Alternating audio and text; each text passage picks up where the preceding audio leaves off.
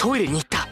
普通だ。まあテレパシーでトイレに行くことは分かっていたがしかし普通だ。お出てきたな。そんな面白いっすか？あいつ。今佐藤君が何分トイレに入ってたか分かるか？いやわかんないっすよ。5分41秒だ。成人男性が大便にかかる。平均時間と全く同じだ。確かにちょっと面白いけど！ちなみに一度の大便に使用する紙の量も平均とぴったり一致していた。見てたんすか？見て。さあ一体どっちを選ぶ？ごごめん。謝る方か。ごめん。授業始まるからもう行くね。な何？どちらでもないだと。いやだが待て。この言葉一見普通だがすごいぞ。俺には普通のこと言ってるようにしか。お前わからないのか？この言葉。主張と謝罪のどちらでもないがどちらでもあると捉えることもできる。つまりこんな普通の言葉でありながら主張と謝罪の両方を兼ね備えた針の穴を通すミドルシュート。なんだこのイメージ！すげえ普通が勝った。佐藤君君は思った以上だ彼は紛れもなく普通の天才だ。普通の天才ってなんすか？よし決めたぞ。何をすか？佐藤君と友達になる。マジっすか？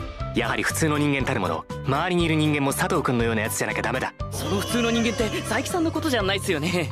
佐藤君という最高の迷彩服で僕はこの学校に完全に溶け込む